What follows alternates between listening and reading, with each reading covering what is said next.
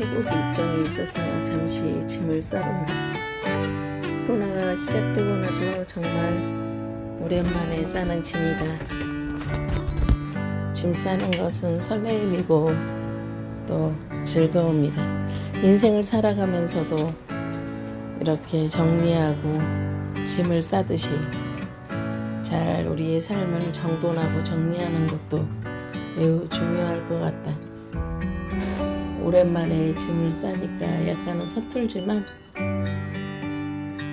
단순하게 또 우리의 인생의 짐들을 잘 정리하는 것도 매우 중요할 것 같다. 우리가 인생을 살아갈 때 차곡차곡 우리 인생의 모든 인간관계를 정리하고 또 우리들이 모든 재정적인 부분도 정리하고 필요한 것들이 무엇인지 필요한 것들이 무엇인지를 잘 정리하는 것이 중요할 것 같다는 그런 생각이 든다.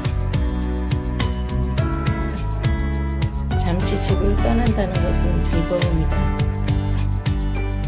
집을 떠나서 여러 가지 많은 일들을 계획하고 준비하는 것도 인생에서 매우 중요할 것 같다.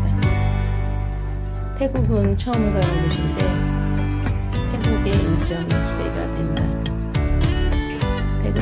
사람들도 만나고 주변을 환경도 살피고 또 여러 가지 일정들을 소화하고 올 예정이다.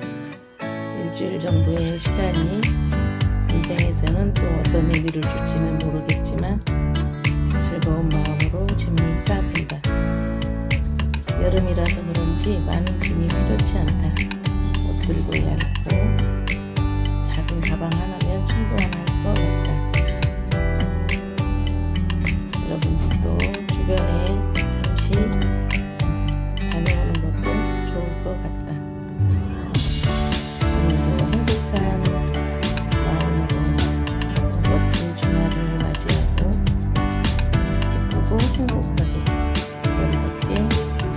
bed,